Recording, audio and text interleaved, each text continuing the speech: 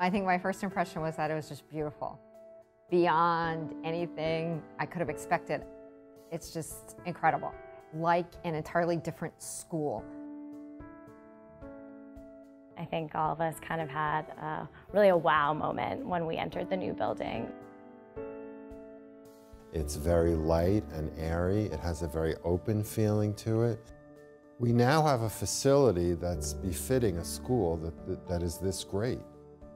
We have suddenly popped up on the rankings of the best law facilities in the world. So that's pretty cool and not something that we ever thought we would see. There's students everywhere using these spaces.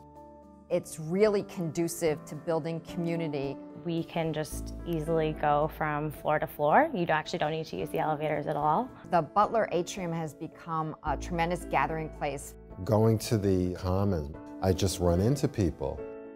To be able to have this beautiful building and these resources backing us is really just a source of pride, I think, for all the students. Completing this project does say a lot about what a difference our donors can make to the school and have made to the school. This is a very tangible evidence of the difference that they can make. And we hope that seeing these results will inspire those who haven't joined our list of donors to do so because it really does make a difference in the lives of our students who will become the leaders of our country going forward.